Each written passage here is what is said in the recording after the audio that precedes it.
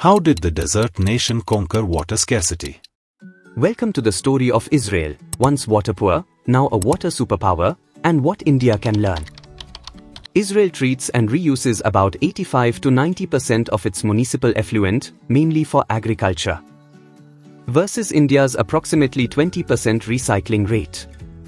Plants like Sorek and Ashkelon use reverse osmosis to convert seawater into urban water, making desalination mainstream. In the 1960s, Israeli engineer Simcha Blass and Kibbutz Hatzerim developed surface drip systems that slashed water usage and boosted crop yields. National metering, regulated abstraction, and a bulk conveyance network with near-zero leakage keep demand in check and leaks out. They're innovating next, stormwater reuse, decentralized greywater, digital tools. India faces urgent water stress, 80% of irrigation relies on groundwater, and recycling is far behind. Here's what India can adapt. Build more tertiary plants and pipelines for agri-use. Coastal cities like Chennai now have plants, India can follow with better tech and economies of scale.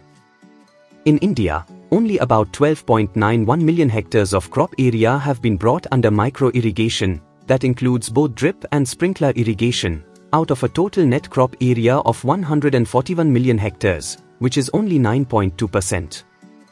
In Israel, on the other hand, 90% of the sown area is under microirrigation, primarily drip irrigation. Simple yet effective methods like rooftop harvesting, recharge wells, and check dams can reduce overdependence on bore wells. We also need to do nationwide metering, smart leak detection, usage-based tariffs, and public awareness campaigns. Imagine if every drop counted and counted smartly. Israel shows that integrated strategy, not just one breakthrough, makes water security possible.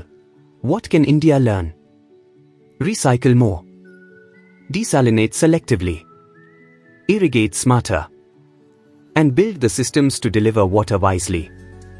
At TekBerry, we believe engineering can shape sustainable water future, just as Israel proves what's possible.